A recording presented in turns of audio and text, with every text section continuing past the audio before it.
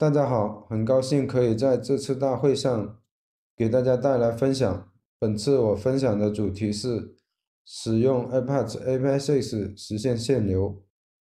首先做个简单的自我介绍，我叫陈军旭，来自知流科技，我是 Apache API6 的 PNC 成员，同时也是 Apache SkyWorking 的 Committer。接下来我将从限流的常见算法、Engines 限流、Apaches 限流三个部分，向大家介绍如何使用 Apaches 实现限流，并通过与 Engines 限流对比，来说说使用 Apaches 限流的优势及解决了在实际使用中什么样的痛点和问题。希望我们透过限流这个功能点能够让大家对 API6 的特性和优势有个大致的了解。作为高并发系统三大利器之一，限流的作用和重要性毋庸置疑，在这里我们就不再赘述。我们先看一下常见的限流算法。漏桶算法是网络中流量整形和速率限制时经常使用的一种算法。它的主要目的是控制网络流量速率，平滑网络中的突发流量。漏桶算法提供了一种机制，通过它，突发流量可以被整形，以便提供一个稳定的流量。把流量比作是水。漏桶相当于服务器对链，当请求量大于限流阀值时，多出来的请求就会被拒绝服务。我们可以通过网上流行的这张图来理解。漏桶有一个进水口和一个出水口，出水口以一定速率出水，并且有一个最大出水速率。当漏桶中没有水的时候，如果进水速率小于等于最大出水速率，那么出水速率等于出进水速率，这时漏桶不会产生积水。如果进水速率大于最大出水速率，那么漏桶以最大速率出水，这时多余的水会积在漏桶中。当漏桶中有水的时候，出口出水口以最大速率出水。如果进水速率小于等于出水的速率，那么漏桶会保持原状或慢慢排空，否则漏桶会慢慢被填满，然后多余的进水就会溢出，相当于服务被拒绝。令牌桶算法是网络流量整形和速率限制中另外一种常用算法。典型场景下，令牌桶算法用来控制请求数量并允许处理突发请求。令牌桶算法的原理是，系统会以一个恒定的速率往桶里放入令牌。如果有请求需要被处理，则先从桶里获取一个令牌。当桶里没有可用的令牌时，拒绝服务。从原理上看，令牌桶算法和漏桶算法是相反的，前者为固定速率进桶，后者为固定速率出桶。漏桶算法和令牌桶算法。除了方向上的不同，还有一个主要的区别：令牌桶算法限制的是平均流入速度，并允许一定数程度的突发流量。令牌桶算法的实现步骤如下：令牌桶令牌以固定速率生成，并放入到令牌桶。中，如果令牌桶满了，则多余的令牌会直接丢弃。当请求到达时，会尝试从令牌桶中获取令牌。获取到的令牌的请求可以继续执行。如果桶空了，取不到令牌，则拒绝该请求。除了以上两种算法外，还有其他常用的线聊算法，如。计算器算法，但由于篇幅有限，本次就不做其他介绍。下面我们来看一下 Engines 如何进行限流。Engines 官方版本限制速率和并发连接分别有两个模块：Limit REQ 模块用来限制单位时间内的请求数及速率限制；Limit COM 模块用来限制同一时间连接数及并发限制。Engines 速率限制模块使用的是漏桶算法，即能够保证请求的实时处理速度不会超过设置的阀值，同时增加了对突发请求的支持，使得 Engines 的。速率限制具有了令牌统算法处理突突发请求的能力。我们结合示例看一下它的配置参数。Key 定义限流对象，在示例中使用了客户端地址作为 Key。准定义内存共享区域来存储访问信息。示例中表示一个大小为十兆、名字为 one 的内存区域。Rate 用于设置最大访问速率。示例中表示每秒最多请求十，最多处理十个请求。Engines 实际上。会以毫秒为力度来处理请求信息，因此每秒十次实际上是每一百毫秒处理一次请求。这意味着，自上一个请求处理完后，若后续一百毫秒内又有新的请求，那么该请求将被拒绝处理。我们再来看一下对突发请求支持的参数。Burst 是突发的意思。示例中，这个配置设置了一个大小为五的缓冲区。当有大量的请求过来时，超过速率限制的请求可以先放到这个缓冲区内。超出缓冲区的请求仍然被直接拒绝。No delay，如果不希望超过访问频次限。制的缓冲请求被延迟，则可以使用该参数。下面我们通过具体的案例来详细说明。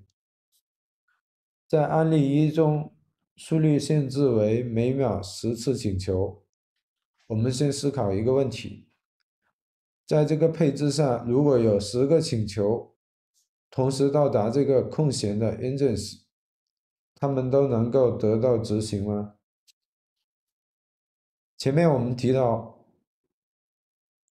每秒十次，实际上是每一百毫秒处理一个请求。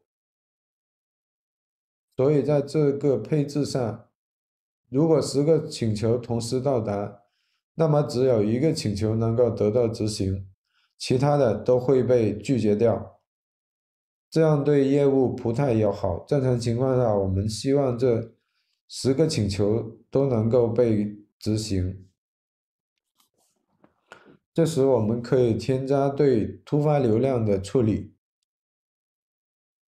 案例二中，比案例一多了一个参数，也就是 burst 等于十。若同时有十个请求到达，Engines 会立即处理第一个请求，将另外九个请求放入到队列中，然后每隔一百毫秒从队列中获取一个请求进行处理。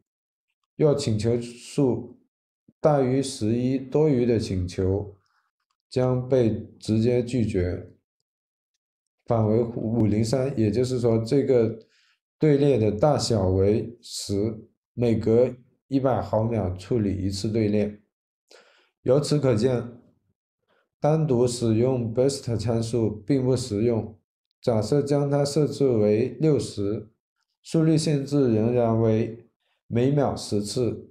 排队中的六十个请求虽然每一百毫秒会处理一个，但六十个请求需要等待六十乘以一百毫秒，也就是六秒钟。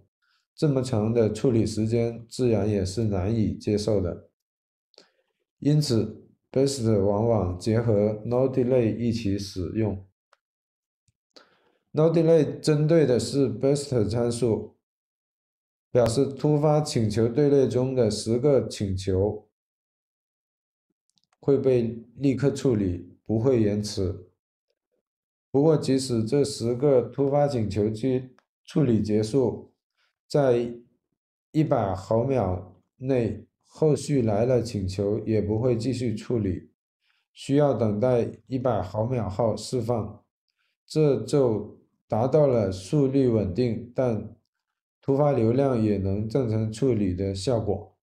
但是需要注意，虽然设置 best 和 no delay 能够降低突发请求的处理时间，但是长期来看并不会提高吞吐量的上限。长期吞吐量的上限由速率限制决定的，因为 no delay 只能保证 burst 的参数。被立即执行，但 engines 会限制队列元素释放的速度，就像限制了令牌桶中令牌生成的速率。虽然 engines 速率限制具有处理突发请求的能力，但是它本质上还是漏桶算法。我们再来看一下 engines 的并发限制模块。这个模块用于限制每个 key 的连接数，通常是来自单个 IP 地址的连接数，并不是所有的连接都被计数，只有服务器处理了请求，并且已经读取了整个请求条时，连接才被计数。这个模块只支持。设置共享内存区和 key，我们直接通过示例来看一下。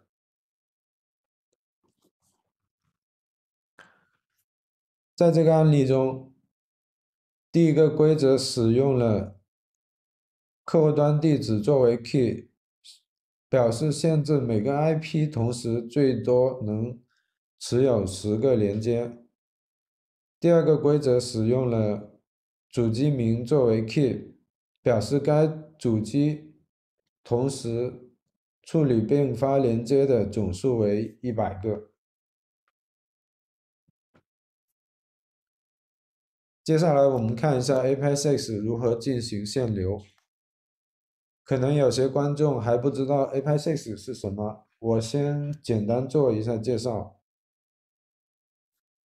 Apache APEX 是一个全动态。实时高性能的 API 网关，提供负载均衡、动态上游、灰度发布、服务熔断、身份认证、可观察性等丰富的流量管理功能。API6 基于 Engines 加 Lua 实现，这使得它天然的继承了 Engines 的高性能和高稳定性。全动态。意味着，当你对它进行任何配置变更之后，不需要对它进行重启，即可生效。相比之下，Engines 每次变更配置都需要 reload。reload 在生产环境中，尤其是高负载的情况下，代价是非常昂贵的。另外，APEX 有非常强大，而且很灵活的插件机制，使得 APEX 极具可扩展性。大部分情况下，你不需要修改 APEX 的代码，只需要实现一个新的插件，就可以满足你的需求。另外，除了 Lua，APEX 同时支持 Java、Go 等语言进行插件的开发，你可以选择自己熟悉的语言进行扩展。目前，APEX 是世界上最活跃的开源 API 网关项目，也是中国最快毕业的 Apache 顶级项目。这是 APEX 的技术架构图，它的架构主要分为数据面和控制面两个部分。左边是数据面。就是 APEX 本身主要负责流量的代理，提供前面提到的负载均衡、动态上游、灰度发布、可观测性等流量管理能力。右边是控制面，主要提供数据存储和管控的功能，其中 etcd 用于配置数据的存储和下发，APEX 就是通过 Watch etcd。来实时的获取到配置的变更的，Dashboard 则是提供了配置管理的管理界面。另外，APEX 还可以跟各种可观察性组件对接，比如 Apache Skyworking、普罗米修斯等，从而提升了服务的可观测。可观测性，这是我们的用户墙，里面的用户都是他们自主在 GitHub 上面上报的。目前全球已经有数百家企业使用了 APEX 来处理关键业务流量，涵盖各行各业，比如美国的 NASA。欧盟的数字工厂、中国航信、中国移动、腾讯、华为、微博、三六零等。下面我们来看一下如何使用 APEX 进行限流。APEX 的限流插件 LimitCon 同样，Limit REQ 同样使用了漏桶算法。同时也支持突发流量。我们可以看到插件的主要参数跟 Engines 速率限制的参数差不多。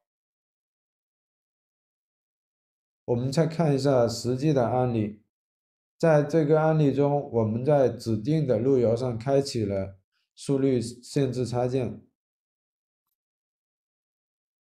我们可以看到这里的配置参数和前面 Engines 的案例差不多，而且它达到的效果也是一样的。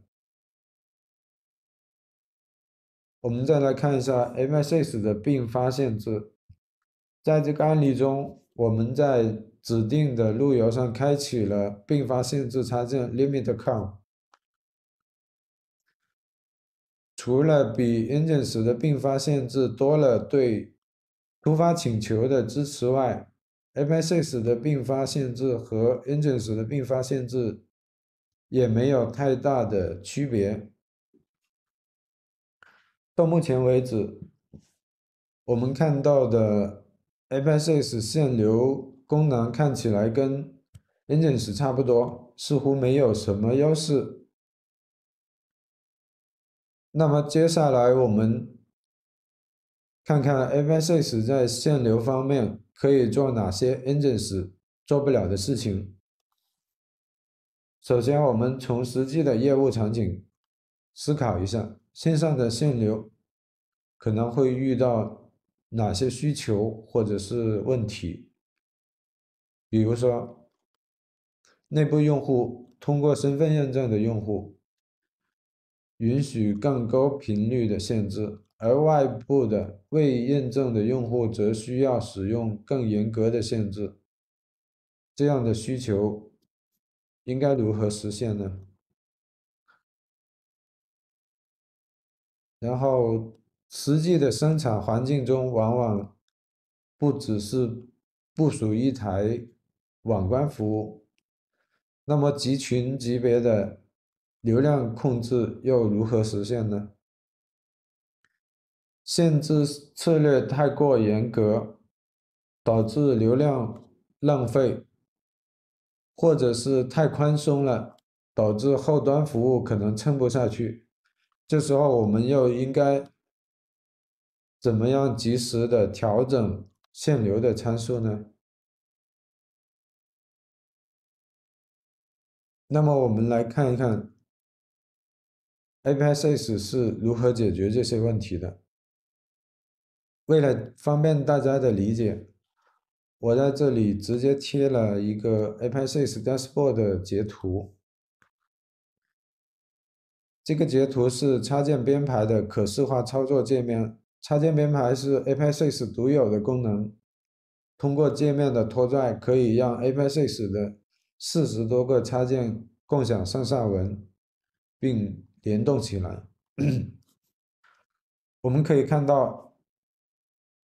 请求进来，首先经过一个 IP 限制插件，它会判断请求的 IP 是否内网 IP。如果是内网 IP，则使用内网专用的限流配置；如果不是内网 IP，则使用 JWT-auth 进行身份认证。如果身份认证通过，使用专用的限流配置。否则，使用另外一个限流配置。通过插件编排的功能，我们最终实现了前面提到的，针对不同用户群，实现不同配置的流量限制需求。